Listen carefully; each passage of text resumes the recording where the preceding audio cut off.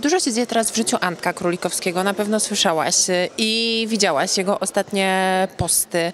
Mm, Też jesteś dosyć zaangażowana w pomoc y, Ukrainie. Y, Jak zareagowałaś na to, co wrzucił na swój Instagram Antek?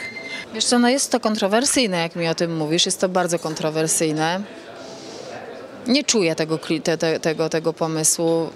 Wiesz, no tam, tam giną ludzie, tam jest bardzo poważna sytuacja, więc ja wiem, że ludzie pomagają na różne sposoby. Nawet ostatnio, wiesz, byłam na turnieju tańca towarzyskiego e, Pro-Am e, w Sopocie, e, gdzie tancerze tańczyli właśnie i, robili aukcje, właśnie zbierając pieniądze na rzecz Ukrainy, więc są różne sposoby, ale ten wydaje mi się no, po pierwsze bardzo kontrowersyjny, no taki wiesz, no, no nie, nie.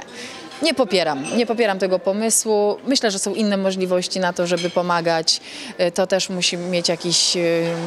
Ze smakiem to wszystko trzeba robić. No a tutaj trochę się chyba niesmacznie zrobiło.